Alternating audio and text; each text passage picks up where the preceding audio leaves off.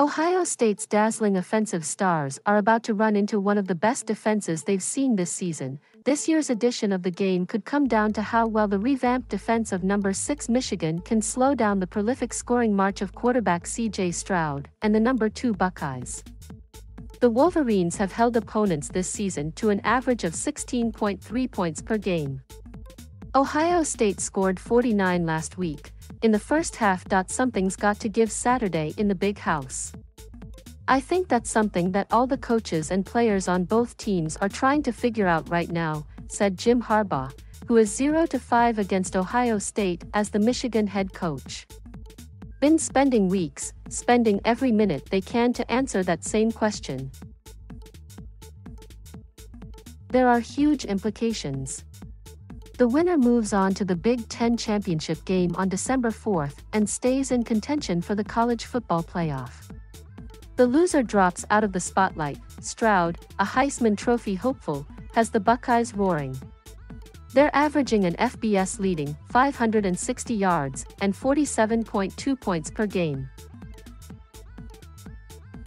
The redshirt freshman, who threw his first pass in a college football game less than three months ago, tied a school record with six touchdowns, all in the first half, as Ohio State rolled up a season high 655 yards in last week's blowout of then no 7 Michigan State. He's averaging 345.8 passing yards. Receivers Chris Olave, Garrett Wilson and Jackson Smith-Njigba have combined for nearly 3,000 yards and 30 touchdowns. Their route running ability, their catching ability, their speed to all parts of the field, really outstanding Harbaugh said. True freshman running back TreVeyon Henderson's average carry of 7.32 yards is second best in the nation.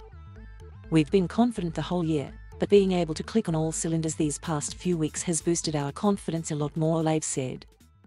I feel like we're having a lot more fun, spreading the ball around. Said Buckeyes tackle Nicholas Petit-Frere. The only thing that can stop us is ourselves. Michigan made changes at the top after last season's pandemic shortened 2 to 4 season, replacing defensive coordinator Don Brown with Mike Macdonald, the 34 year old former Baltimore Ravens linebackers coach. Macdonald has leaned on a pair of top notch edge rushers, Aidan Hutchinson and David Ojabo, and linebacker Josh Ross to help contain the run and Daxton Hill to lead the secondary. The Buckeyes have not faced a better pass defense this season. The Wolverines have limited 8 of their 11 opponents to fewer than 200 passing yards. After allowing a season-high 293 to Washington in Week 2, Michigan's opponents have managed an average of just 164 through the air. It's going to be a big challenge for our guys in protection and for and everybody Ohio State coach Ryan Day said.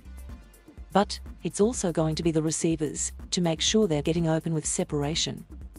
It's everybody across the board. It's the running backs picking up things. Very, very talented. Very powerful on the edge. They mix up their rushes, big challenge. The Buckeyes have scored a combined 118 points in the last games against a rival they'll refer to only as the team up north. None of that matters, said Ross, the Michigan linebacker. We're tired of talking. None of the past matters. We know what happened in the past.